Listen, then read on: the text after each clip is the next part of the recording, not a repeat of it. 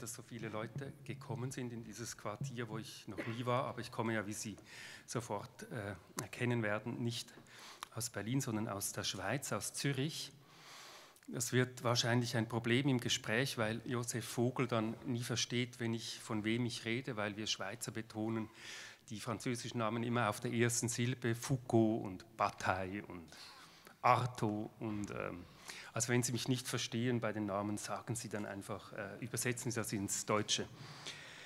Nun, es freut mich, dass Josef Vogel hier ist. Ähm, Sie, ich muss Ihnen wohl hier in Berlin nicht vorstellen, sicher haben Sie alle das Gespenst des Kapitals gelesen, diese fast erzählerische Analyse der Verwerfungen des Kapitals und der Verschuldung in die Zukunft. Draußen liegt das Buch sonst auch, dann können Sie es kaufen, das würde ich dann unbedingt machen.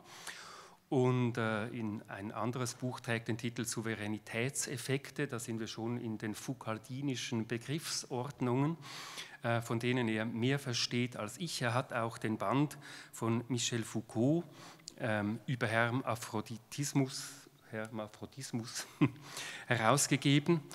Und ähm, ich freue mich auf dieses Gespräch und hoffe, dass er mir diese vierteilige Geschichte der Sexualität von äh, Foucault äh, etwas näher bringt. Es ist ja so, dass die Avantgarde seit dem 18. Jahrhundert immer vorstieß in neue Gebiete, dass sie formale Regeln der Sprache transgrediert, äh, übertreten hat, bis hin dann zum Dadaismus oder eben auch die äh, moralischen und sexuellen Tabus zur Sprache brachte, ganz extrem natürlich der Marquis de Sade 1785 mit seinem Werk Die 120 Tage von Sodom. Nun, als ich in der Schule war, habe ich angefangen, Saat zu übersetzen, Justin und Juliet, zehn Bände mit einem Freund zusammen. Und äh, Foucault war neben Bataille so der Säulenheilige, der immer gesagt hat, ja, der Marquis de Sade hat schon um 1800 zusammen mit Hölderlin eine Spalte geöffnet des Diskurses hin zum anderen, hin zum Wahn, zur Sexualität, zum, zum Fremden, zu dem, was die Vernunft aus sich selber verdrängt. Und dann ist also dieses La Volonté de Savoir, der erste Band, ähm, der Wille zum Wissen, glaube ich, auf Deutsch äh, erschienen. Und es war äh, eine absolut schreckliche Lektüre, weil er sich plötzlich von Marquis de Sade abwendet und sagt, ich will jetzt mit diesem Begriff von Verbot, mit Überschreitung eigentlich nichts mehr zu tun haben. Das ist eine Sackgasse. Er hat sogar seine eigenen Studien zu Georges Bataille und dessen äh, Geschichte des Auges, wo er den Begriff der Übertretung als künftigen Leitbegriff, wie früher die Dialektik gefeiert hatte, verworfen. Und ich fühlte mich, als ich das dann las, dieses Buch, wo er eben sagt, es geht nicht um Repression und Befreiung, wenn man über Sexualität spricht, sondern der Mensch ist ein Geständnistier, das gezwungen ist, über Sex zu sprechen, ein bisschen wie einem enttäuschten Liebhaber. Äh, wie ging das Ihnen, als Sie sich mit diesem Band beschäftigt haben, dem ersten Band der Geschichte der Sexualität, der ja einen Bruch in Foucaults Denken ähm, einführt und der jetzt eben mit diesem vierten Band, äh, Les Aveux de la Chair, äh, wie heißt das auf Deutsch, Geständnisse des Fleisches, äh, zu, zu einem Abschluss gekommen ist, 35 Jahre nach seinem Tod. Waren Sie auch enttäuscht? Also vielleicht von der anderen Seite ähm, äh, eine Annäherung versuchend würde ich sagen, ähm, es äh, tut weh, aber es macht auch Spaß, von Foucault widerlegt zu werden. Also das heißt, es ist ein masochistisches Vergnügen und das wird man immer wieder äh, finden und deswegen äh, ähm, würde ich auch sagen, es hat Ihnen gut getan, von Foucault widerlegt worden zu sein, sonst säßen wir auch nicht hier. Und vielleicht hätte ich auch noch einen kleinen Rat. Es war wahrscheinlich keine gute Idee, Saat übersetzen zu wollen, denn es gibt gibt, ähm, äh, und das ist ja äh, überraschend, es gibt ähm, ähm, irrsinnig viele Geschichten aus dem 19. Jahrhundert von Saat-Lesern, ähm, die nach wenigen Seiten in schwere Krankheiten verfallen sind. Ähm, ich erinnere mich an die Geschichte eines jungen Manns, 16 Jahre, ähm, der in der Bibliothek seines Onkels einen verstaubten Band fand, den Band aufmachte, sich in seinem Zimmer zurückzog und von diesem Augenblick für die Menschheit verloren war. So der Bericht. es war also sehr überraschend und das glaube glaube ich, darf man nicht vergessen, wenn man auch das Verhältnis von Foucault und Sartre äh, in den Mittelpunkt stellt. Äh, äh, Sartre war wahrscheinlich der äh, wenigst gelesene Autor mit dem größten Ruhm oder meine, wenn man so will, mit der größten Verruchtheit. Jeder kannte äh, Sartre, aber keiner hat eine Zeile davon gelesen. Und jetzt komme ich zu Foucault zurück und ich glaube, das hat Foucault in irgendeiner Weise interessiert. Äh, wie konnte ein Phänomen wie Saat entstehen, ohne dass wahrscheinlich hier auch im Publikum die wenigsten Netzteile von ihm gelesen hat. Äh, woher kommt das? Äh, ich glaube, das hängt durchaus mit einer Geschichte ähm, der Sexualität äh, zusammen.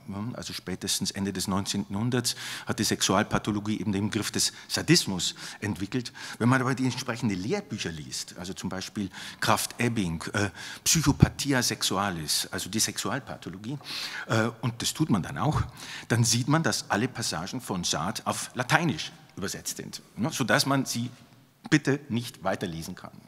Ähm, das heißt also, hier wurde, und das ist, glaube ich, nicht uninteressant äh, für Foucaults Interesse, es wurde sozusagen ein Geheimnis erzeugt, zu dem niemand Zugang haben sollte, außer bestimmte, wenn man so will, Diskursherrscher ja, wie Sexualpathologen und so weiter und so fort.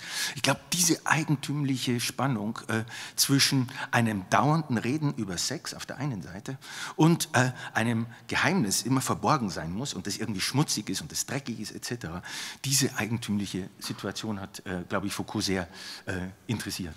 Mhm.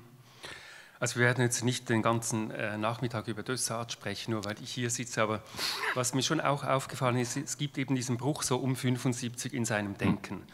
Und ähm, da gibt es jetzt ja verschiedene neue Theorien dazu. Der eine ist, äh, er hat halt in den Saunas und Darkrooms in Kalifornien eine andere Form von ähm, körperlicher Lust plötzlich erlebt, äh, mit Brustwarzenklammern und so, äh, sich sozusagen dem phallologozentristischen Diktat der Sexualität entzogen in diesen dunklen Räumen, wo auch die Nicht-Identität seines Körpers sozusagen feiert. Und andererseits ist jetzt ein Buch herausgekommen, das etwas äh, geschwätzig ist, wo es um einen LSD-Trip äh, im Death Valley äh, geht, wo er offenbar ohne Cola zu trinken, wie es heißt, weil nichts zwischen LSD und den Trip kommen soll, er ohne einen Schluck Cola dann eine Pille geworfen hat und die Wahrheit gesehen hätte und nachher sagt er, ich habe meine Sexualität jetzt endlich verstanden, es hat alles mit meiner Schwester angefangen, ich muss nach Hause zurück, ja, ich muss heimkehren nach Hause. Aber er ist heimgekehrt zu den Kirchenvätern und den alten Griechen. Also darf ich vielleicht äh, da vorausschicken, dass mich die äh, sexuellen Gewohnheiten der Autoren, die ich schätze, wenig interessieren und, ähm, äh, und umgekehrt auch hoffe, dass sie, äh, sich entsprechende Leute auch nicht für meine ähm, Gewohnheiten interessieren. Äh, ich würde da auch nur sehr bedingt und sehr vorsichtig Auskunft geben. Und ähm, ähm vielleicht kann man äh, das auch festhalten, dass ähm, Foucault selbst ja eigentlich auch in diesen Punkten sehr zurückhaltend war. es gibt vielleicht eine Sache, wenn man jetzt die Biografie irgendwo in Rechnung stellt und versucht, ähm, äh, Bezüge zu den Fragestellungen herzustellen, vielleicht eine Sache, die nicht unwesentlich ist und die man eher nebenbei erfährt äh, äh, in den Biografien, das sind Foucaults Selbstmordversuche, die, glaube ich, äh, durchaus auch damit zu tun hatten, äh, dass er äh, unter einer ähm, schwierigen Situation als Homosexueller groß geworden ist. das ist vielleicht das einzige biografische Detail, das an dieser Stelle in irgendeiner Weise ähm, zählen äh, würde. Also das heißt, Foucault war äh, mit seiner eigenen Biografie durchaus in politische Kämpfe, die auch äh, mit der Schwulenbewegung zu tun hatte, ähm, verstrickt. Äh, und diesen politischen Impetus, glaube ich, darf man bei dem Ganzen nicht vergessen. Mhm. Also, ähm, wenn Sie einverstanden äh, sind, stellen wir äh, die Brustwarzen und das Piercing und LSD zurück und versuchen vielleicht nochmal von der anderen Seite auf, auf Foucault zu kommen. Ja, ähm, also noch die andere Seite eben, also im, im Jahr 75 ist halt auch ähm, die, dieser Film von Pasolini, ähm, Salo, mhm. über, über den Marquis de Sade, äh, in einem faschistischen, italienisch-faschistischen Umfeld herausgekommen. Und in der Sadologie, das ist der Wissenschaftszweig, in dem ich mich auskenne, das ist aber auch der einzige, ist es ein Rätsel, dass wirklich im 20. Jahrhundert bis 75 alle bedeutenden französischen Denker, Simon de Beauvoir, Sartre, Bataille, äh, Foucault, ähm, Deleuze nicht wirklich, aber äh, eigentlich alle zu Saat vor Klosowski äh, Vorwörter geschrieben haben, Lacan hat dazu geschrieben, also alle haben sich mit dem befasst. 1975 kommt dieser Film mit dieser Engschließung von Faschismus und äh, sadistischen Gewaltfantasien.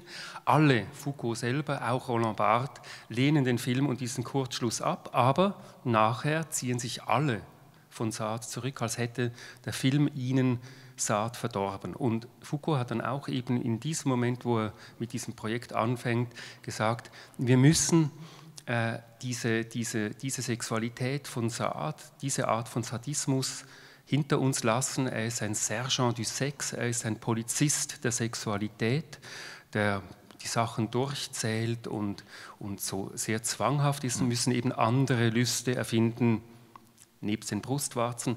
Ähm, und hat dann eben dieses Projekt angefangen. Also ich glaube schon, diese, diese Erfahrung war für ihn wahrscheinlich schon auch mit diesem Film, mit diesem ganz extremen Bild der Sexualität, wo Pasolini den, den Konsumfaschismus eigentlich der Sexualität der 70er Jahre anprangert, auch verbunden. Und er wendet sich ja dann auch eben von dieser Sicht von 68, dass äh, die sexuelle Befreiung eine Befreiung ist, ab und sagt, diese ganze Repressionstheorie ähm, ist vollkommen falsch. Es ist nicht so, dass wenn man über Sex spricht, dass man sich befreit, sondern man geht in eine Falle.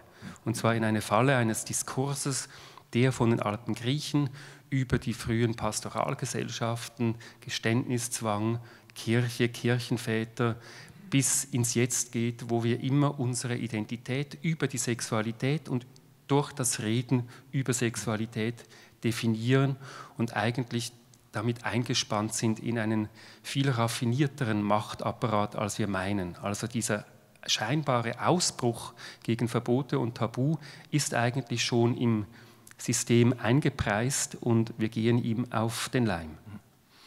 Also eine lange und schwierige Frage.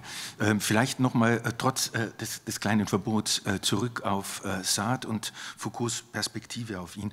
Die Perspektive von Foucault auf Sartre, glaube ich, war eine doppelte.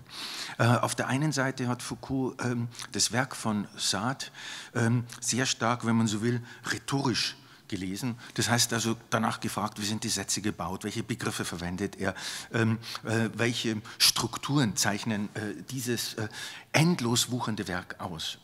Und äh, die eine These von Foucault, und die kommt schon früher in dem äh, äh, Band über die Ordnung der Dinge, das heißt also über die Entstehung der Humanwissenschaften im 18. und dann im 19. Jahrhundert, sagt Foucault, ähm, Sartre ist ein radikaler Aufklärer.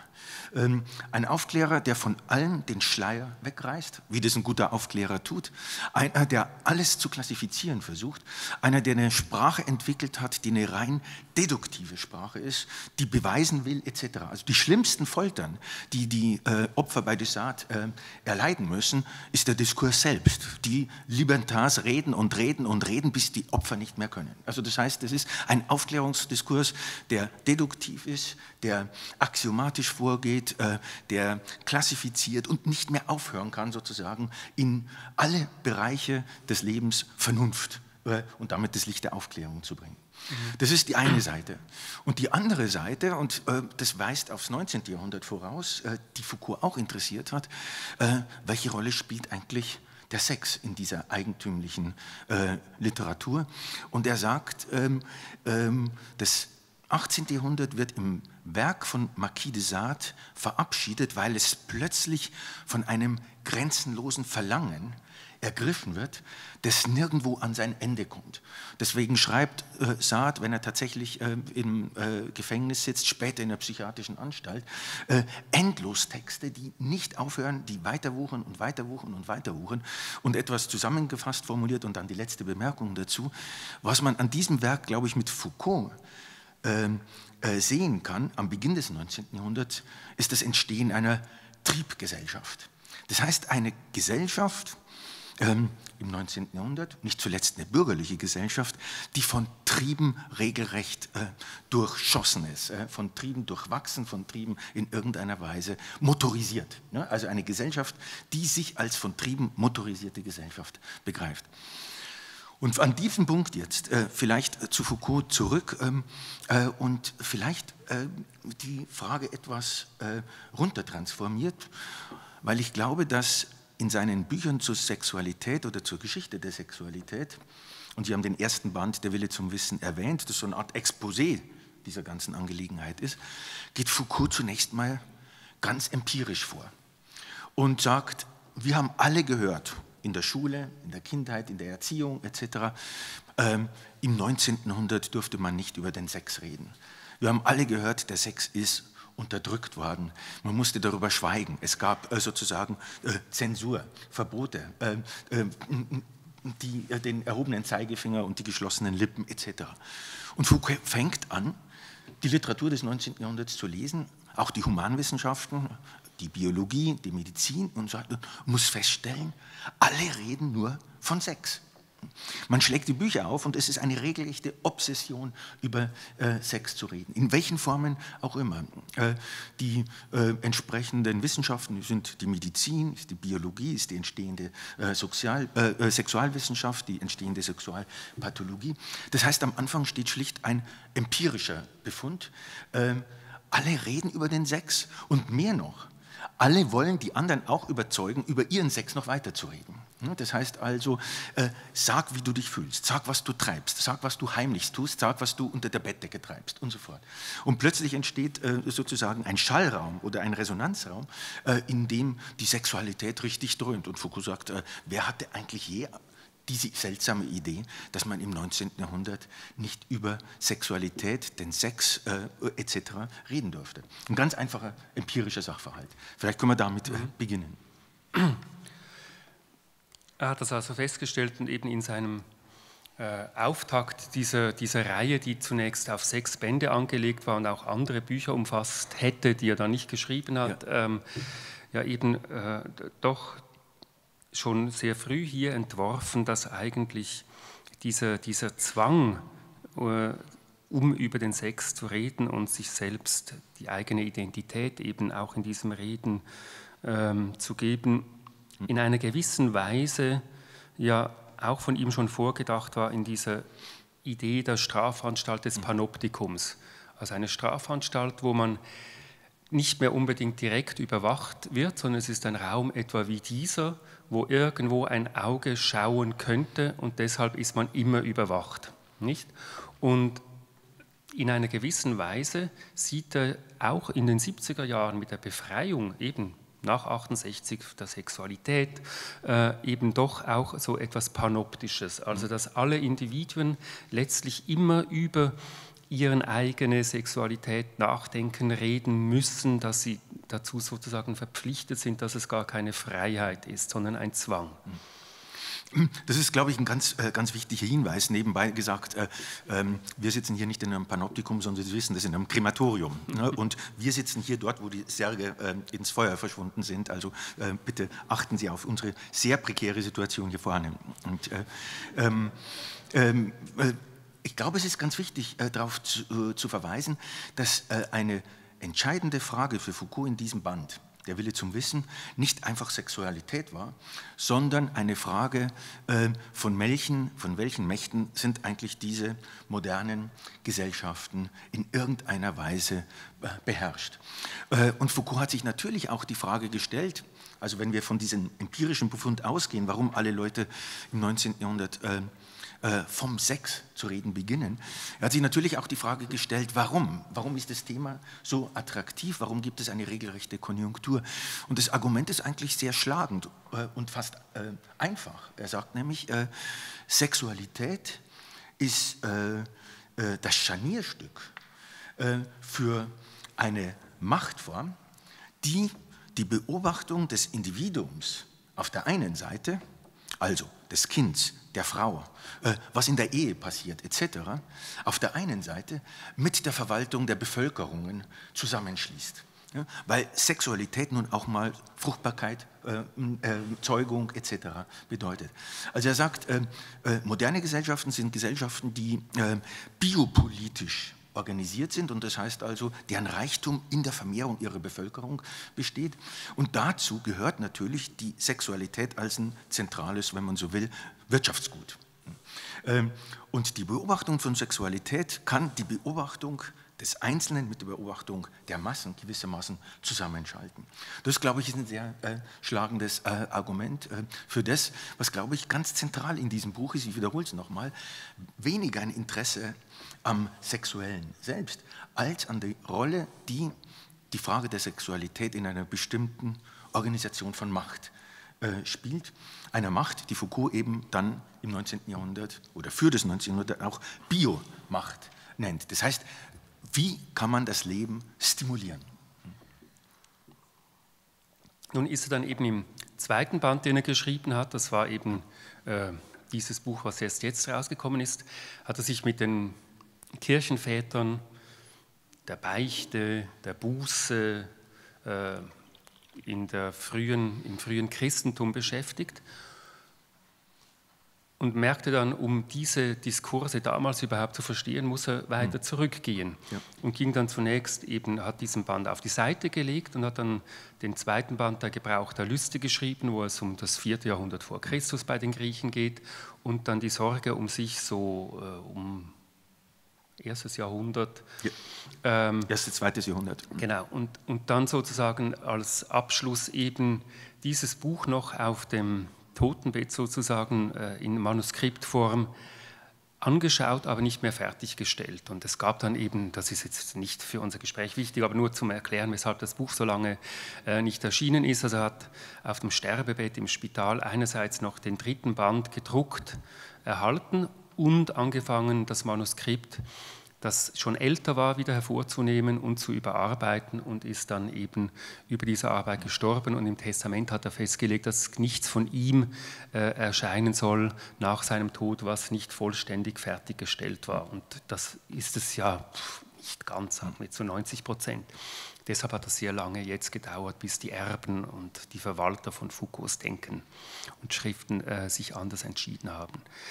Ähm, wenn Sie jetzt diesen Regress eigentlich anschauen, also vom 19. Jahrhundert, das man begreifen muss aufgrund des 17. Jahrhunderts, dann geht er zu den Kirchenvätern und dann immer weiter zurück bis zu den alten Griechen, bis zu Platon. Weshalb geht er so weit zurück? Also man kann schon sagen, ähm, das ist ein großer Unfall gewesen. Äh, ein Unfall ähm, am Ende von äh, Foucaults Leben. Man kann äh, vielleicht da noch das Detail hinzufügen, dass in diesen Unfall auch noch seine AIDS-Erkrankung ähm, gefallen ist. Zunächst einmal war der Plan ein ganz anderer. Also Foucault hat diesen ersten Band, Der Wille zum Wissen, geschrieben, ein Exposé und hat dann auch ein Programm entworfen, wie es weitergehen sollte. Das heißt also, es sollte ein Band geben über die Beobachtung des Kindes. Die Frage äh, kindliche Pädagogik und Onanie sollte im Mittelpunkt stehen. Es sollte einen zweiten Band geben, äh, ganz wichtiges Thema im 19. Jahrhundert, die hysterische Frau. Ne? Die Hysterisierung der Frau, die dann auch in der Psychoanalyse später auftaucht.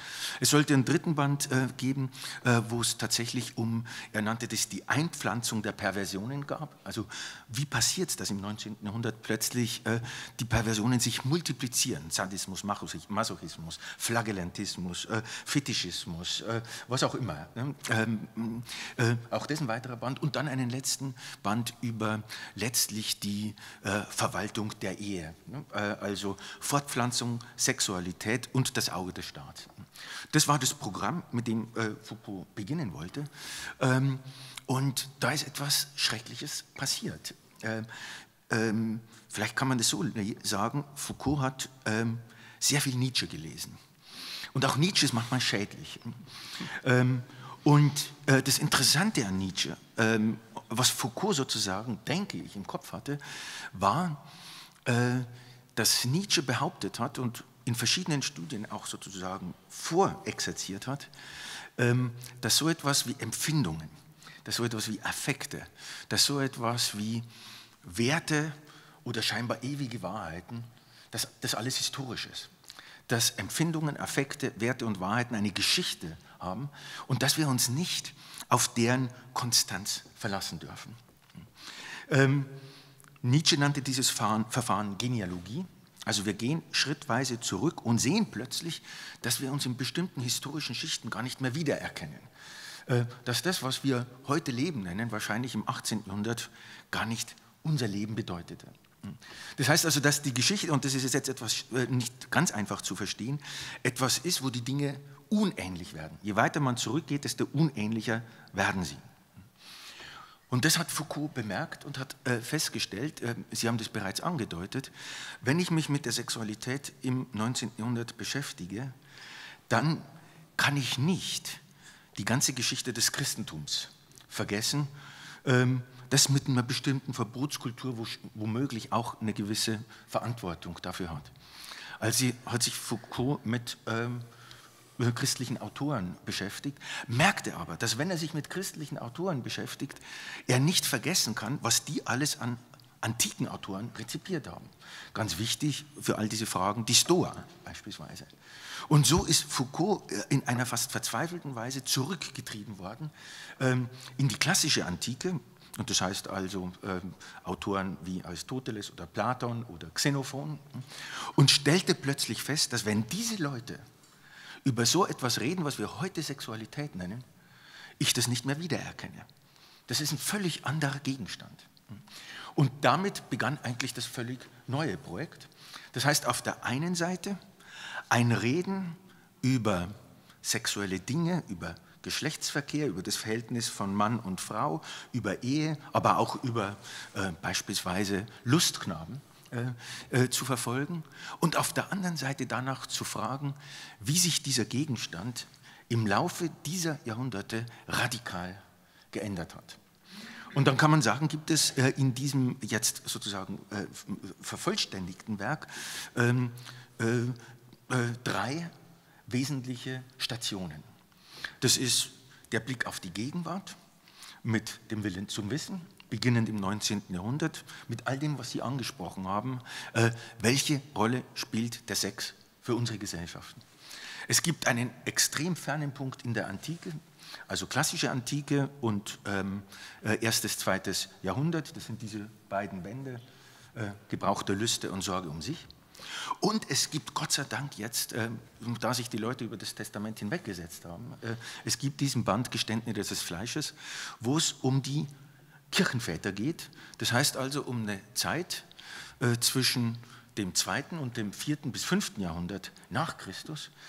Und die ist nicht uninteressant, diese Zeit, das muss man vielleicht dazu sagen, eine Zeit, in der sich das Christentum bereits allmählich als, wenn man so will, hegemoniale Religion im Römischen Reich installiert hat. Das ist die Zeit der Kirchenväter und dieses Buch endet dann eben mit Augustinus im, äh, am Ende des äh, vierten Jahrhunderts. Und das ist sozusagen das, äh, ein ganz entscheidendes Zwischenstück.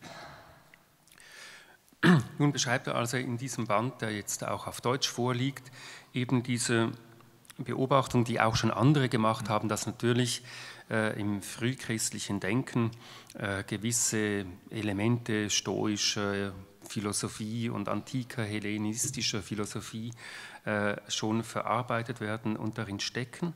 Aber er sagt es, auch wenn es zum Teil auf der Oberfläche eigentlich dann zu ähnlichen Regeln kommt, äh, Mäßigung, Enthaltsamkeit und so weiter, äh, wie wird die Ehe organisiert und so, äh, gerät eigentlich diese, diese auf der Oberfläche gleiche in einen ganz anderen Existenz Horizont hinein.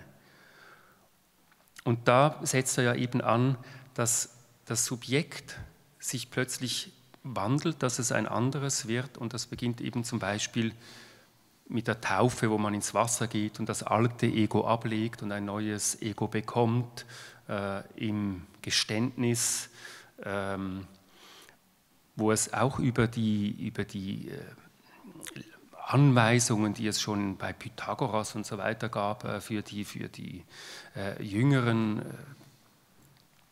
die sich der Leitung eines älteren Denkers überlassen, weit hinausgeht, weil viele von diesen Formen plötzlich eben auch ins Innere des Subjektes verlagert werden. Also die Enthaltsamkeit oder die Jungfräulichkeit ist dann nicht mehr nur eine körperliche Jungfräulichkeit, sondern es muss eine Jungfräulichkeit sein, die so weit geht, dass man nicht einmal mehr äh, aufreizende Gedanken hat. Und das Ende ist dann, es sollte nicht mal zu einer Pollution in der Nacht kommen, nicht? Und dann hat das Subjekt sozusagen über sich selber eine ganz neue Form von Herrschaft erfunden, gefunden und ausgeübt. Mhm. Wie sehen Sie diesen, diesen Einstieg äh, von Foucault, wo er ja meine völlig absurde Geschichten erzählt. Eine ist die mit der Hyäne, oder? Also es gibt irgendein altes Beispiel hm, aus, der, aus dem Hellenismus, dass äh, die bei Herodot dass die Hyäne ein, ein schreckliches Tier ist, das äh, jedes Jahr sein Geschlecht wandelt und eben exzessiv Sex hat kommen sie also und die Kirchenväter und Clemens oder ich weiß nicht, wer das war, und sagt dann, ja, das ist nicht so, weil das würde dem Logos Gottes äh, widersprechen, wenn man das Geschlecht wechselt. Es ist was anderes. Die Hyäne hat irgendwie einen Beutel unter äh, dem Phallus irgendwie versteckt und kann sozusagen pseudovaginal, so genau. genau, kann sozusagen pseudovaginal auch noch Sex machen. Und also da werden so ganz kleine, völlig zum Teil abstruse Sachen erzählt, die etwas surrealistische an sich haben haben. Aber eben es werden also in dieser Weise alte Beobachtungen, aber eben auch alte Lebensregeln neu definiert, neu geordnet.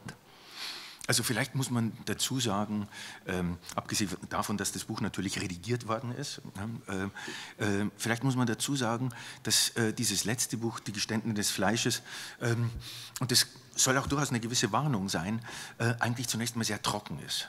Ähm, und das ist nicht unwichtig. Ähm, Foucault denunziert niemanden. Das hat er auch äh, selten in irgendeiner Weise getan, äh, dass er Autoren vorführt, um sie zu denunzieren, ähm, sondern es hat eine ganz eigentümliche Methode, dieses, Buchs, dieses Buch. Es hat die Methode, die in den Texten der Kirchenväter versteckten Probleme sichtbar zu machen. Also nicht deren Antworten, äh, zu bringen, was soll man tun, wie soll man leben, etc., sondern die dahinterliegenden Probleme, die mit diesen Texten gelöst werden sollen. Man darf nicht vergessen, die Texte, mit denen sich Foucault beschäftigt, äh, haben ein ganz bestimmtes Genre. Das sind Briefe, Ratgeber, äh, das sind äh, Lebensregeln etc. Das heißt also ein Konsortium von Texten, mit denen Anweisungen für das richtige und für das gute Leben gegeben werden äh, sollen. Ich glaube, das ist, ist ganz, ganz wichtig für dieses Buch. Ähm, und da gibt es bestenfalls, wenn man so will, einen kleinen Spaß, ähm, theologische, wenn man so will, äh, Finessen oder Absurditäten sprechen zu lassen. Also die Geschichte mit der Hyäne wäre so, Fall, so ein Fall, die Geschichte mit dem Hasen, der, die Hasen, die sich unendlich vermehren, wir wissen, das wäre so eine andere Geschichte. Also das heißt, der Streit der Theologen um die Rolle der Hyäne und die Frage, wie viele Geschlechtsorgane hat sie, ist zum Beispiel so ein Beispiel, äh, äh, wo es komisch wird. Ne? Aber es hat nichts Denunziatorisches. Erster Punkt. Äh, ein zweiter Punkt, den man vielleicht auch noch ganz allgemein dazu sagen muss, ist, ähm, dass äh, in dieser Geschichte der Sexualität äh, Foucault drei Schwerpunkte oder Brennpunkte hat. Er fragt sich erstens nach der Organisation von Wissen. Er fragt zweitens welche Rolle spielen bestimmte Machtformen dabei? Und er fragt drittens, ähm, welche Ideen über Subjekte, welche, wie er sagt, Subjektivierungsweisen sind mhm. damit verbunden. Das ist das Dreieck, das ihn interessiert. Wissen, Macht, Subjekt. Und dafür bieten die ähm, Texte einige Anknüpfungspunkte. Jetzt konkreter zu äh, Ihrer Frage. Äh, Sie haben das schon formuliert und es ist ganz wichtig festzuhalten. Foucault stellt fest, und das ist, glaube ich, wichtig, um dieses Projekt, aber auch die Radikalität dieses Projekts zu begreifen. Er stellt fest, es gibt im Übergang von der heidnischen Antike bis zum frühen Christentum, etwa der Kirchenväter, keinerlei Verschärfung von Verboten, keinerlei größere Strenge im Umgang mit dem Sex. Das heißt also, es ist nicht so, dass das Christentum als eine Verbotskultur auftauchen würde, sondern die äh, wiederholen das, was die Stoiker gesagt haben, die wiederholen das, was die Stoiker wiederum von ihren äh, Vorläufern haben. Äh, das geht zum Teil bis auf die Vorsokratiker und Epikur äh, zurück. Das heißt, hier reproduziert sich ein Regelsystem, ähm, in dem die Sache des Sex, des Geschlechtsverkehrs und so weiter ähm, nicht eingezwängt wird durch eine größere christliche äh, Verbotskultur. Und das ist wichtig für äh, seine gesamten Thesen. Aber, und an der Stelle taucht ein Aber aus, und das ist der Gegenstand dieses Buchs und auch im Titel eben enthalten, also Geständnisse des Fleisches, er sieht, dass zwischen dem zweiten und vierten Jahrhundert ein neuer Gegenstand auftaucht, Nicht neue Verbote, sondern ein neuer Gegenstand. Und dieses Gegenstand, dieser Gegenstand wird das sündige Fleisch genannt. Und das sündige Fleisch ist nicht der Körper und seine Reaktionen, also diese ganze schwere Biomasse, die wir mit uns herumtragen, sondern das Fleisch ist eine ganz bestimmte Verhältnisform zwischen Körper und Seele. Also Fleisch bedeutet nicht Fleisch, äh, wie soll man sagen, Schnitzel äh, etc., sondern schlichtweg eine spezifische Verbindung, Verhältnisform zwischen der Seele und dem Körper. Und dort lauert die Sünde, in diesem Verhältnis. Und das ist der völlig und überraschend, man kann sogar sagen, aufregend neue Gegenstand, der sich in den Texten der Kirchenväter langsam anbahnt, äh, zu, form zu formieren. Nun, er nimmt dann natürlich eben ganz bestimmte ähm, Formen in, ins Auge. Ich habe schon erwähnt, die Beichte, die Buße, genau. äh, die Jungfräulichkeit, äh, die Eheregeln. Wo hat Sie jetzt seine Analyse am meisten überrascht, jetzt in diesem Gebiet, bevor wir auf den Schluss okay. kommen? Der, auf den Schluss? Den, ja, auf die Libido-Theorie. Ah, okay. Ähm, na gut, es, es, sind viele Dinge äh, interessant daran.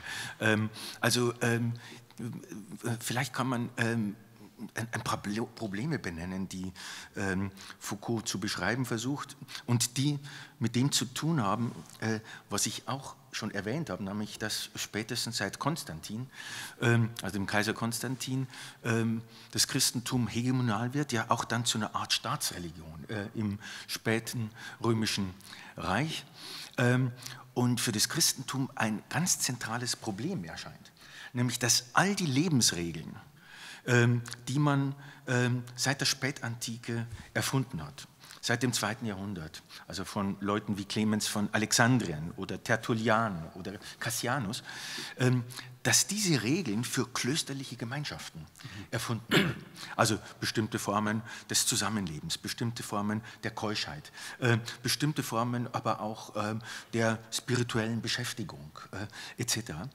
Und dass nun im Römischen Reich etwas auftaucht, äh, was können wir eigentlich den Leuten im Alltag bieten? Das heißt also den Leuten, die womöglich dem Christentum nahestehen, aber nicht in Klöstern wohnen, die nicht zur engen christlichen Gemeinschaft äh, hm, gehören. Und da fangen die Kirchenväter an, darüber nachzudenken, wie kann man sozusagen unsere Regeln äh, ausweiten auf die zentrale politische Parzelle im Römischen Reich, nämlich die Familie. Mhm. Die Familie ist im Römischen Reich eine Rechtsinstitution. Äh, sie genießt besonderen Schutz und eine der wesentlichen Fragen dieser Kirchenväter, spätestens dann bei Augustinus äh, im vierten Jahrhundert, ist mit der Frage verbunden, wie können wir christliche Lebensregeln ausweiten auf das säkulare Leben, auf die Familie und das heißt natürlich auch auf die Zeugung, auf äh, den Geschlechtsverkehr etc. Also das steht sozusagen als großes politisches Problem äh, hinter, äh, hinter diesem Projekt und da gibt es natürlich äh, durchaus interessante ähm, äh, Verwerfungen. Aber vielleicht ich kann doch. Äh, ich, ich, fand ja. jetzt nicht alle Verwerfungen gleich interessant ähm, oder gleich überraschend. Ähm, wir haben schon über diese eher spektakulären Beispiele wie die Hähne und den Hasen geredet, aber ähm, eben zum Beispiel dieses, diese Idee der Jungfräulichkeit. Mhm. was entdeckt er da? Also vielleicht, äh, damit äh, das ein bisschen plastisch wird, äh, also wenn Sie mir das erlauben ja, oder wenn Sie mir das erlauben, ähm, vielleicht wenigstens ähm, die Dreiteilung, die das mhm. Buch hat, weil das nicht unwichtig ist zu wissen. Ähm, also im ersten Teil dieses vierten Bands der Geschichte der Sexualität geht es tatsächlich um das Entstehen des Sakraments der Beichte im weitesten mhm. Hinsicht. Und Foucault versucht nachzuzeigen, wie die Beichte, und das heißt damit auch eine bestimmte Gewissenserforschung, ähm, eine elementar klösterliche Angelegenheit ist. Das heißt also, der Klosterbruder unterwirft sich der Führung eines Vorgesetzten, des Abts, ähm, und wird von ihm aufgefordert, sozusagen ähm, seine innersten Regungen vorzuführen, also Wahrheiten über sich zu sprechen. Und Foucault in diesem ersten Teil sagt, das ist eine eigentümlich paradoxe Situation, dass nämlich derjenige, der seinen Willen aufgibt, äh, in der Beichte zugleich derjenige ist, der mit der Aufgabe seines Willens Wahrheit produziert. Also es wird eine bestimmte Form der Seelenführung vorgeführt. Am Horizont steht dann das später eingeführte Sakrament der Beichte. Das betrifft den ersten Teil, also wo Foucault sich einfach danach fragt, welche neuen Verhältnisse ähm, des Subjekts zu sich selbst werden im Christentum produziert. Erste These, es wird ein bestimmtes Selbstverhältnis hergestellt, in dem ich mich permanent selbst erforschen muss. Dann gibt es einen zweiten Teil, und das haben Sie gerade angesprochen, der ist überschrieben mit Virginité, Jungfräulichkeit. Und damit ist in letzter Konsequenz so etwas wie Keuschheit, äh, Reinheit äh, gemeint. Ähm, und dieses Ideal ist wiederum eng mit klösterlichen Gemeinschaften verbunden und besteht eigentlich darin, eine Pseudo-Ehe mit Gott einzugehen. Also die Klosterschwestern, die Klosterbrüder gehen eine spirituelle Ehe äh, mit Gott ein, vereinigen sich also im Geist unter der Bedingung, dass der Körper außen vor bleibt. Äh, oder umgekehrt, der Körper ist überhaupt kein Problem. Der Körper ist sozusagen äh, so eine Art Fahrgestell äh, für die spirituelle Einheit mit Gott. Da taucht aber tatsächlich diese Frage auf, was passiert in der Interaktion zwischen Seele und Körper.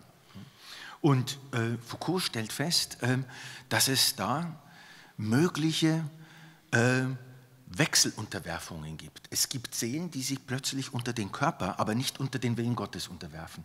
Was bedeutet das? Welche Aktion wenn, äh, zwischen Seele und Körper findet dort statt? Da entsteht so etwas wie das sündige Fleisch.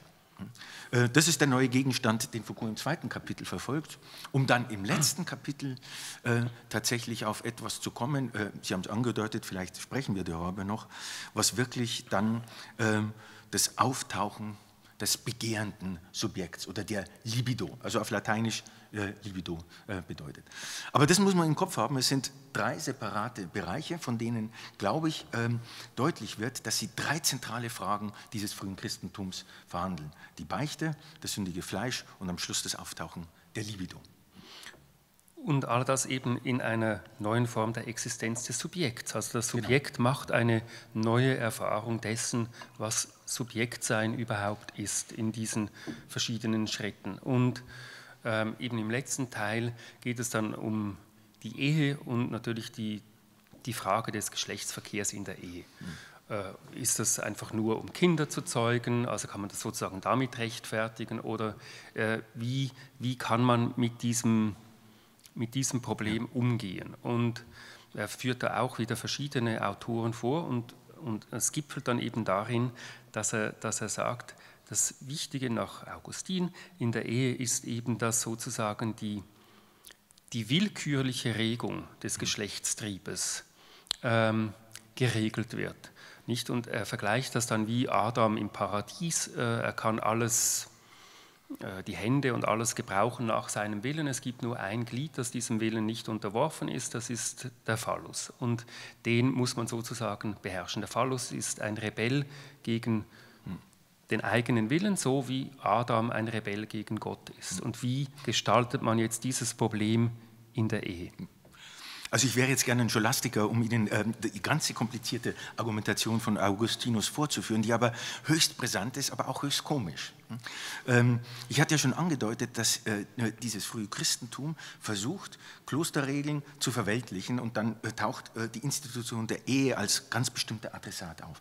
Ähm, das führt bei Augustinus in seiner Schrift über den Gottesstaat dazu, und das ist eine bahnbrechende Interpretation, dass Augustinus behauptet, und die wenigsten heute wissen das, ähm, dass Augustinus behauptet, Adam und Eva haben im Paradies Geschlechtsverkehr gehabt. Ähm, das hat mich schon verwundert. Ich wusste das nicht. Also für mich galt immer, das Paradies war ein Paradies und äh, solche Sachen waren Gott sei Dank abwesend. Augustinus behauptet, Adam und Eva haben Geschlechtsverkehr im Paradies und er tut es aus dem nämlichen Grund, den ich gesagt habe, um die Ehe aufzuwerten. Also die Ehe ist sozusagen äh, ein Reservat äh, für die Leute, äh, die dem Gebot der Keuschheit äh, nicht unterworfen sind. Ne? Also die Mönche und die äh, Schwestern sind keusch. Äh, es gibt eine Ausnahme von der Keuschheit, das ist die Ehe, in der darf man Dinge treiben, die man im Kloster sonst nicht treiben darf, aber unter bestimmten Bedingungen. Also die Aufwertung der Ehe und Aufwertung sozusagen ähm, ähm, äh, auch des Verhältnisses, eheähnlichen Verhältnisses von Adam und Eva. Und Sie haben richtig gesagt, äh, in dieser Ehe äh, funktionieren alle elf Finger sozusagen nach meinem Willen. Hm? Da gibt es nichts, äh, äh, was meinen Willen durchkreuzt. Zweiter Punkt. Ähm, Augustinus fragt sich dann, was ist der Sündenfall? Und äh, der Sündenfall hat zwei Dimensionen. Ich muss das äh, erzählen, weil das äh, also eine dramatische Geschichte ist, ähm, die diesen Sündenfall nach Augustinus betreffen. Der Sündenfall ist erstens eine Abwendung der Menschen, Adam und Evas, von Gott. Sie fühlen sich autonom. Sie fühlen sich nicht mehr vollständig dem Willen Gottes unterworfen. Es ist also eine Revolte. Adam und Eva revoltieren gegen Gott. Was ist aber der Lohn dafür? Der Lohn dafür ist, dass auch etwas in den Menschen gegen den Menschen und seinen Willen revoltiert. Und das ist, man muss es so direkt sagen, die Erektion. Die Erektion, so schreibt es äh, Augustinus direkt, ist unwillkürlich. Die kann ich nicht beherrschen und ist das Stigma der Revolte des Menschen. So wie der Mensch gegen Gott revoltiert, so revoltiert nun das Unwillkürliche, etwas, was ich nicht beherrschen kann, äh, gegen mich selbst. Das heißt also, es ist sozusagen äh, ein Loch in meiner Willensfähigkeit. Es ist das Nicht-Gewollte im Willen, was sich da in irgendeiner Weise regt. Äh, und dieses Nicht-Gewollte im eigenen Willen, verbunden mit dem Sündenfall, nennt Augustinus dann die Libido. Und das ist eine dramatische, und Foucault inszeniert das in seiner, wenn man so will, Nüchternheit oder Trockenheit auch. Das ist deswegen dramatisch, weil damit plötzlich die Struktur einer sexuellen Regung zur Bedingung für die Form des Subjekts wird. Also das Subjekt, das mit Augustinus auf die Welt kommt, ist eines, das ein Loch im Willen hat. Und dieses Loch im Willen ist jetzt blöd gesagt, seine Sexualität, etwas anachronistisch äh, gesagt. Ähm, vielleicht, ich weiß nicht, darf ich noch was hinzufügen? Ja. Es ist nämlich äh, äh, überaus interessant, ich sage das nur deswegen, ähm, es ist überaus interessant, dass Foucault äh, eine Pointe äh, überhaupt nicht aufgreift in dem ganzen Buch. Ähm, und das spricht sehr für seine Askese, das spricht auch sehr für seine Trockenheit oder auch, man kann sagen, für seine ähm, intellektuelle ähm, äh, Selbstbeherrschung. Nämlich eine Episode, die Augustinus nicht im Gottesstaat, sondern in den Bekenntnissen erzählt. Es ist eine berühmte Episode und äh, ich erzähle das nur, äh, weil ich eben nicht Foucault bin und weil ich deswegen Dinge tun darf, die diesem, wenn man so will, Regime nicht entsprechen. Es ist interessant, dass äh, Augustinus in seinen Bekenntnissen ähm, eine Szene beschreibt, in der äh, er mit seinem Vater als 16-Jähriger, und das war im Jahr 370, äh, in die Thermen geht. Hm? sie gehen in die Thermen, dort ist man nackt und ähm, Augustinus, und das schreibt er in seinen Bekenntnissen, bekommt plötzlich eine Erektion. Und der Vater sieht es, ist hoch erfreut, geht nach Hause und zählt es der Mutter weiter. Die Mutter war alles andere als hoch erfreut, sondern höchst besorgt, was nun passiert. Und äh, ich erzähle das nur deswegen, äh, weil äh, äh man kann sozusagen diese biografische Episode äh, mit der Adam- und Eva-Geschichte in irgendeiner Weise in Verbindung bringen. Äh, ich füge nur hinzu, dass Foucault das nicht getan hat. Spricht für seine intellektuelle Integrität und, wenn man so will, für meine eigene Verworfenheit. Vor allem, da Sie es ja bei meinen Brustklammern vorhin etwas abgewiesen haben, so zu argumentieren. ähm, gut, also es ist jetzt also am, am Ende dieses, dieser vier Bände haben wir ein neues Subjekt vor uns, das diese Erfahrung macht, dass es im eigenen Willen diese Libido gibt, die einen Riss in den Willen hineinreißt und der Wille muss einen Willen wollen, wollen äh, der eben diese Regung wieder in den Griff kriegt, oder? Das ist also nicht nur die Erektion, es ist auch die, äh, die, die wie sagt man dem, die Impotenz ist das mhm. gleiche Problem, also da kann man ja auch nicht äh, etwas dagegen machen. Ähm, was ist das jetzt für ein Subjekt am Ende dieser Reise durch diese vier Bände, mit dem uns Foucault alleine lässt? also äh, zunächst einmal ähm, äh, muss man es, glaube ich, nochmal äh, so scharf formulieren. Ähm, was am Ende äh, dieses Bandes auftaucht, ist etwas, ähm, äh, was Foucault selbst äh, die Libidinisierung des, der Sexualität nennt. Also das heißt, ähm, das Entstehen einer eigenen Triebkraft, die im Zentrum des Subjekts wirkt. Erstens. Zweitens, diese Wirksamkeit äh, erzeugt ein Mangelwesen oder wenn man so will, einen Seinsmangel. Ähm, ich als bewusstes Wesen beherrsche meinen Willen nur unter der Bedingung, dass bestimmte Dinge äh, nicht von meinem Willen selbst bezwungen werden können. Das ist die Begierde. Und das, glaube ich, ist ganz, äh, ganz entscheidend. Also sozusagen, äh, äh, der Wille ist ein stets durchlöcherter Wille und das heißt, das wird man unter keinen Bedingungen los. Man kann das nur bekämpfen. Ganz wichtig äh, sind zum Beispiel bei Augustinus oder auch anderen Kirchenvätern Begriffe des Kampfes. Man ist aufgerufen, endlos bis zu seinem Tod gegen äh, sozusagen dieses Loch im eigenen Willen äh, zu kämpfen. Das kostet Kraft, das kostet in irgendeiner Weise Anstrengung, das kostet ähm, also sowohl körperliche wie geistige und psychische Energie. Also das ist sozusagen hinterlassen.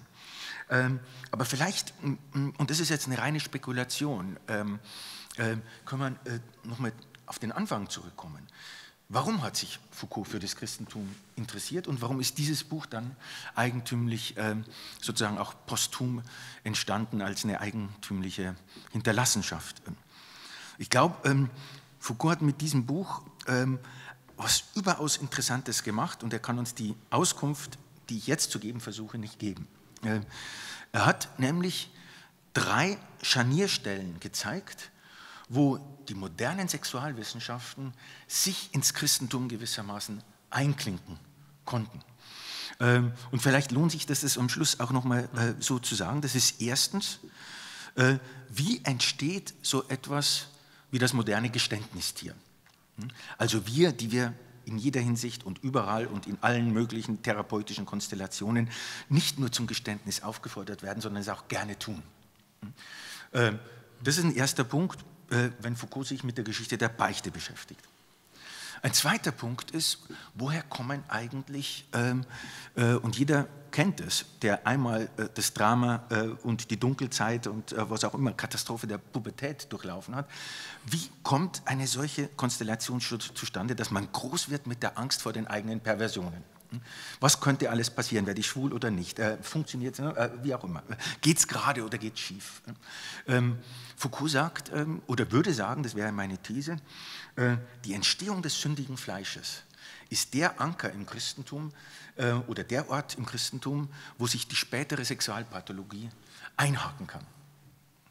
Und drittens schließlich, ähm, wo, wie kommt es dass sich dieses moderne Wesen, das wir sind, eigentlich als etwas begreift, das äh, immer im Kampf mit seinen Trieben, mit seinen äh, Begierden, mit seiner Begehrungsstruktur ist. Mit Foucault formuliert, wie entsteht also das moderne Begehrungssubjekt oder Begehrenssubjekt. Und da wäre das dritte Kapitel dieses Buchs zuständig mit Augustinus, wo eben äh, Foucault beschreibt, wie ein Subjekt mit einem durchlöcherten Willen entsteht. Also diese drei Dinge, ne, ähm, äh, Beichte, sündiges Fleisch und durchlöcherter Willen, äh, sind, glaube ich, die Plattformen, äh, wo sich die spätere, was Foucault Sexualdispositiv nennt, einhakt.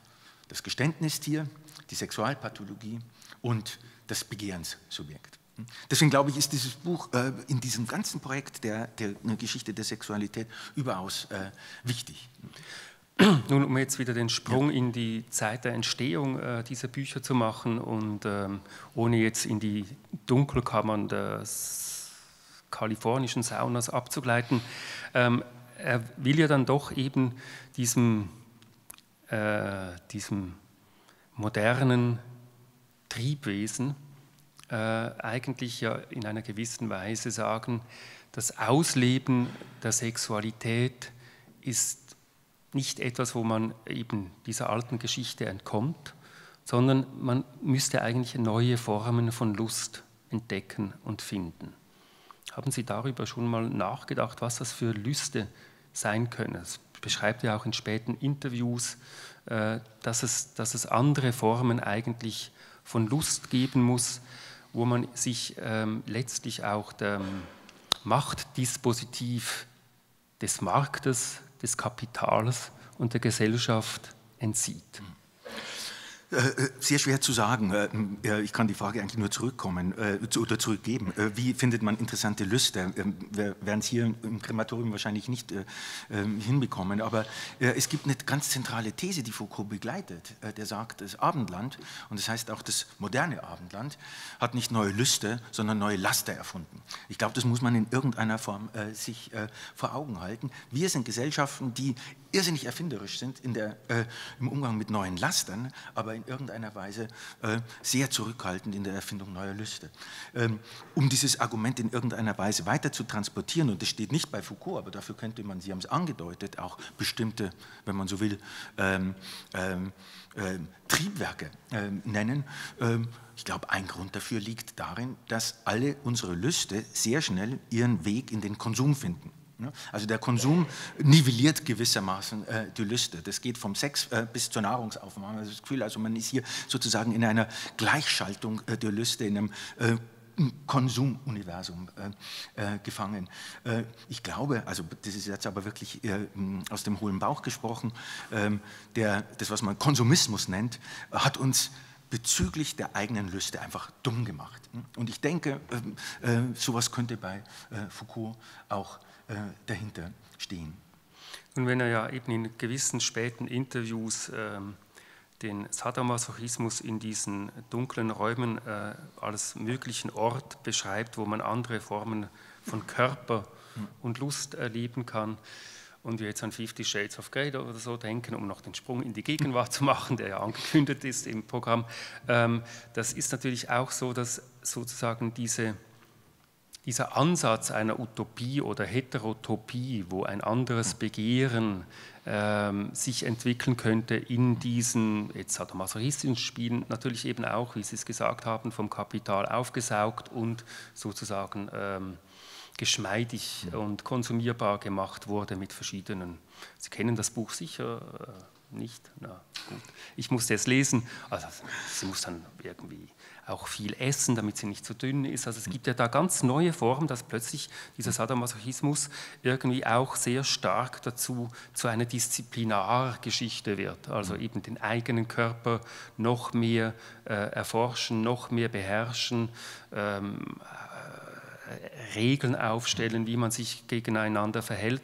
Also ist diese Utopie vielleicht jetzt abgestorben. Sehen Sie irgendwo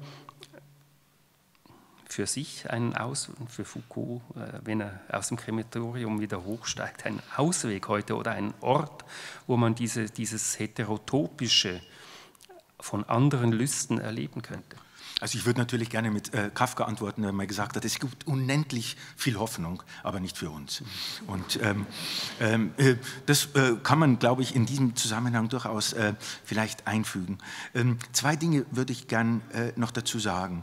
Ähm, es ist interessant äh, zu sehen, dass Foucault sein Nachdenken über Sexualität letztlich mit dem Entstehen der Psychoanalyse beendet hat. Ähm, und er hat alles andere, was seine Gegenwart äh, betrifft, ähm, in völlig anderen Konstellationen gewissermaßen bearbeitet. Also Interviews für Schulenzeitungen, äh, kurze Kommentare, ähm, äh, auch autobiografische Geständnisse oder sowas. Aber da hat man das Gefühl, da ging es um Alltagspolitik. Da mhm. ging es um Alltagspolitik der Schwulenbewegung, da ging es auch um politische Stellungnahmen. das hat er aber nie Gegenstand zu einem historisch-theoretischen Interesse gemacht. Mhm. Das, glaube ich, äh, sollte man festhalten. Und das heißt, das Ende äh, der Geschichte der Sexualität mit der Psychoanalyse ist für Foucault das Ende einer Sackgasse gewesen. Die Psychoanalyse war für Foucault sozusagen der wichtige Ort, an dem die Sexualität zur einzigen Wahrheit des Menschen geworden ist und ihm deshalb etwas verpasst, was man Triebschicksal nennt. Und Foucault äh, fragte äh, an dieser Stelle, muss das denn sein? Muss denn es wirklich sein, dass wir, äh, unser Schicksal immer nur ein Triebschicksal ist und dass äh, alle Lüste, alle Regungen gewissermaßen auf Sexualität zurückgeführt werden. Das ist die offene Frage, die Foucault hinterlässt. Und nun, ähm, und das geht jetzt über Foucault hinaus, glaube ich, können wir selbst sehen, dass sich seit dieser Zeit einiges getan hat. Das heißt also, wir können beispielsweise feststellen, das haben wir schon erwähnt, dass die Sexualität inzwischen äh, sozusagen zu einer Sexuierung der gesamten Öffentlichkeit geführt hat, im Konsumismus oder wie auch immer. Ähm, man kann daran erinnern, dass äh, 1948 äh, das Kinsey-Report erschienen ist, wo zum ersten Mal öffentlich über den Homosexuellen, den Bisexuellen, das Verhältnis von hetero und homosexuellen Mann vorgeführt wurde und man plötzlich über weniger über sexuelle Identitäten als über Sexualpraktiken äh, gesprochen hat. Glaube ich, ein ganz wichtiger Einschnitt. Kinsey-Report 1948. Ähm, man kann einen dritten Aspekt nennen, der nicht uninteressant ist. Ähm, äh, unsere gegenwärtigen Reproduktionstechnologien sind atemberaubend, weil sie den Sex oder die sexuelle Regung von der Fortpflanzung trennen und sozusagen ein ganz wichtiger Teil des 19. Jahrhunderts auslagern. Ne? Und vielleicht letzte Bemerkung noch, ähm, äh, man hat, glaube ich, gesehen, äh, wie sich etwas radikal verändert hat am Beispiel ähm, der Diskussionen über AIDS. Ähm, ich glaube, die meisten in, in, in, erinnern sich noch daran, als AIDS aufgetaucht ist in den 80er Jahren und dann der Virus identifiziert wurde, nebenbei gesagt, äh, auch wieder äh, unsere beide Verworfenheit. Es gibt eine Szene, die ein Freund von äh, Michel Foucault beschreibt, ähm, Hervé Guibert, äh, einer seiner Liebhaber und gleichzeitig ein äh, junger Romanautor, der auch an AIDS gestorben ist. Und der hat einen Schlüsselroman geschrieben, wo äh, Foucault auftaucht, übrigens mit dem ähm, Decknamen Musil, mit Z geschrieben. Ähm, und da wird Foucault, diese Figur wird beschrieben als jemand, äh, der plötzlich erfährt, dass es diese neue Seuche gibt, dass es AIDS gibt und dass das Ganze wohl mit den Schwulen zu tun hat. Und im Roman heißt es, ähm, Foucault ist vor Lachen vom Sofa gerutscht. Weil, natürlich, er sagte, als ob meine ganzen Schriften sich hiermit nochmal bewahrheiten müssen, äh, müssten, dass man die Pathologisierung des Geschlechts mit einer bestimmten Geschlechtsidentität und damit womöglich auch sozusagen mit einer ganz äh, klaren medizinischen Diagnose in Verbindung bringen kann. Das darf man nicht vergessen. Mhm. Äh, und nun, aber das ist das Letzte, was ich dazu sagen wollte, äh, hat man eben gesehen, nachdem man versucht hat, die Herkunft von AIDS in irgendeiner Weise zu klären. Sind es russische Labors oder sind es amerikanische Labors? Ist es Afrika oder Haiti? Früher hat man gesagt, also in den 80er Jahren, der Haitaner ist der Gefährdete. Sind es Homosexuelle, Heterosexuelle, die besonders gefährdet sind? Also nachdem AIDS in irgendeiner Weise von diesen, ähm, wenn man so will, Verschwörungstheorien bis hin zu den Schulen äh, weggekommen ist, musste man feststellen, äh, diese Krankheit diskriminiert nicht mehr eine besondere sexuelle Identität.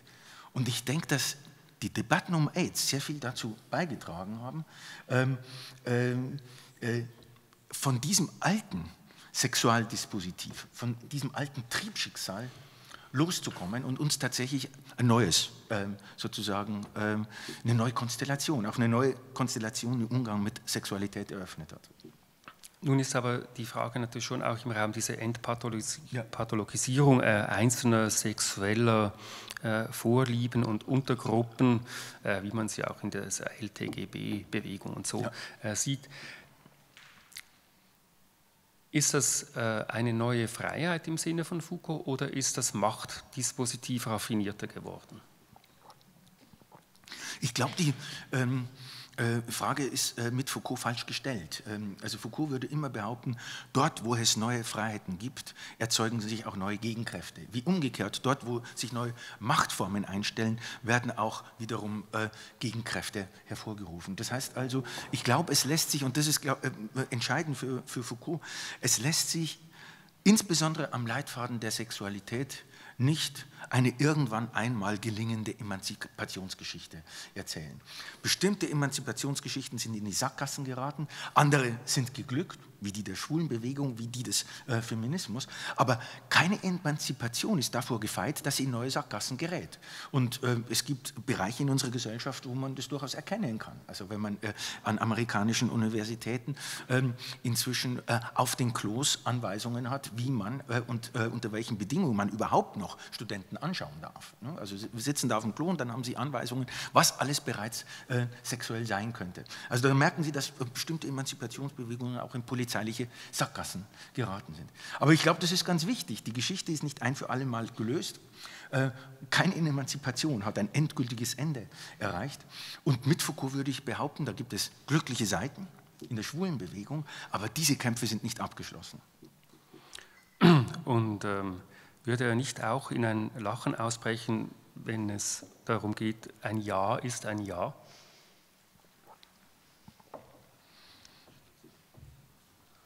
Also ich würde, ähm, ich würde das Ja nicht unterschätzen, äh, aber ähm, äh, anders äh, formulieren. Ähm, äh, dieses Jahr ist ein sehr hässliches Jahr. Ne? Äh, also das ist das Jahr in einem Fragebogen. Ne?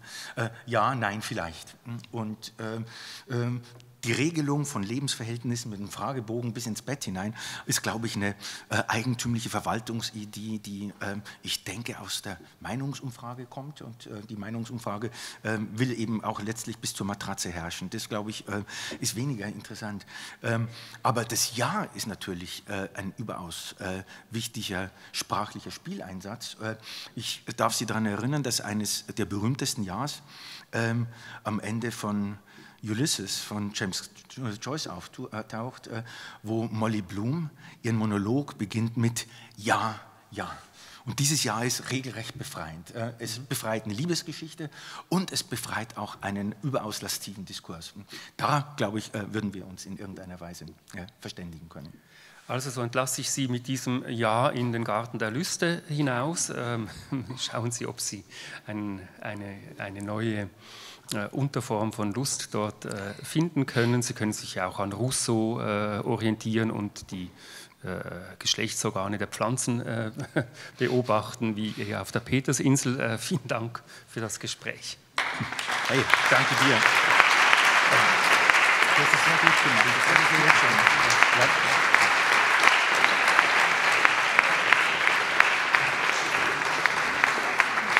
Danke sehr.